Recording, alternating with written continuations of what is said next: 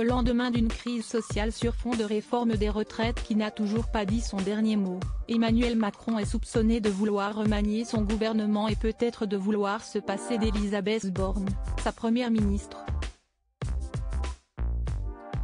Pour l'instant, le président de la République poursuit sa feuille de route et il s'est confié sur ses objectifs au magazine Challenge sorti ce 11 mai 2023. À la fin de cette longue interview, Emmanuel Macron est amené à répondre sur ses relations avec Elisabeth Borne. J'ai une règle qui n'a jamais été démentie, je n'aille jamais parler de mes premiers ministres.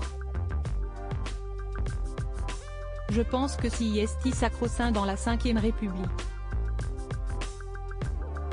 Notre relation est de confiance. Point Emmanuel Macron et Elisabeth Borne entretiennent une relation complexe. Si le chef de l'État a renouvelé sa confiance en sa première ministre fin avril, après le chaos des débats autour de la réforme des retraites, leurs proches disent que le premier serait exaspéré par la seconde. Le camp de la première ministre a récemment nié les rumeurs de tension. Emmanuel Macron, son père Jean-Michel Macron, David de Rothschild, François Hollande. Ces hommes ont marqué sa vie Emmanuel Macron pas pressé de remanier y aura-t-il un remaniement du gouvernement avant l'été? Si la réponse se fait toujours attendre, ces confidences d'Emmanuel Macron, révélées par le canard enchaîné, devraient rassurer l'exécutif.